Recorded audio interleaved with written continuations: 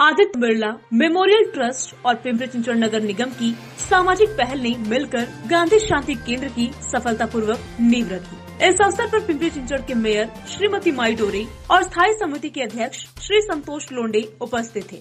गांधी शांति केंद्र का उद्देश्य महात्मा गांधी के विचारों और सिद्धांतों को सभी में स्थापित करना है। पीसीएमसी मेयर श्रीमती माई डोरे ने कहा, मैं आदित्य बिरला, मेमोरियल ट्रस्ट और पिंपरी चिंचवड़ नगर निगम का इस पहल के प्रति समर्पित समर्थन के लिए आभारी हूँ। शांति केंद्र गांधी जी के जीवन और कार्यों के बारे में लोगों को शिक्षित करने के लिए एक मंच प्रदान करेगा। गांधी जी के विचारों पर चलने के लिए ये पहल महत्वपूर्ण है।